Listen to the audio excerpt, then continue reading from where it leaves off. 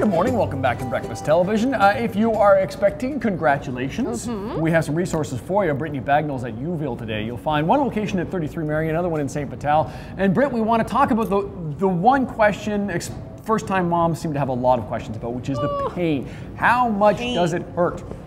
Exactly. So we're talking about the options out there. Of course, there is regular childbirth where it's just au natural. You uh, you do you just do it how you like it. But there are options as well when you check into the hospital that you want to discuss with it. Maybe uh, the people in your prenatal class or with your doctor leading up to it. The thing is, you can't plan for what the, the birth is going to be like, but you can Right. plan for your options. And a lot of the options actually you can't plan for either. So that's why um, Angela has created this really neat way of looking at pain and how you can tr- control it. Actually, one of her students, who is a nurse, created this really neat, like race car type. Uh, way of looking at how pain or the uterus sends messages to your brain when it comes to pain.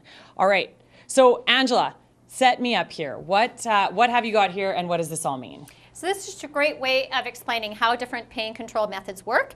So unless you have messages traveling up your spinal cord to the brain, you feel don't have any pain. So one of the more popular methods that most women know about is the epidural. And the cool thing with an epidural is the needle is put into your back, into the epidural space. And what it essentially does is it stops the pain messages from going to the brain. So without them going to the brain, you feel no pain. So in an ideal world, it works every time. It doesn't work every time. Sometimes uh, it's too early for us to put the epidural in. If it's given too early, it can slow labor down. Sometimes it's too late. You're too close to pushing, and we don't like to put it in towards the end either. So it's good to know what your other options are.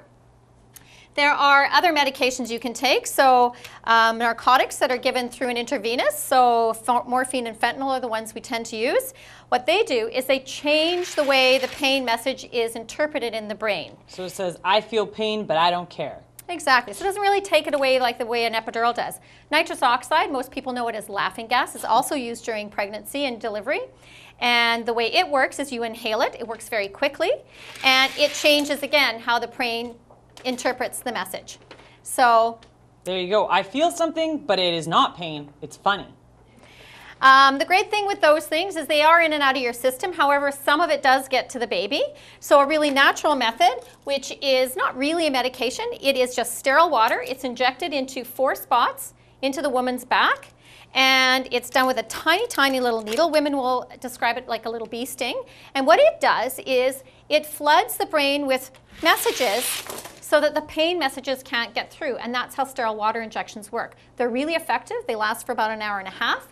And they work much like things like hot and cold work. So if you burn your finger and you run it under cold water, takes the pain away. So it's the same mm. idea. Your brain gets flooded with those messages of cold, and so you don't feel pain the same way. And a lot of natural childbirth methods work that way. They change the way our brain interprets pain.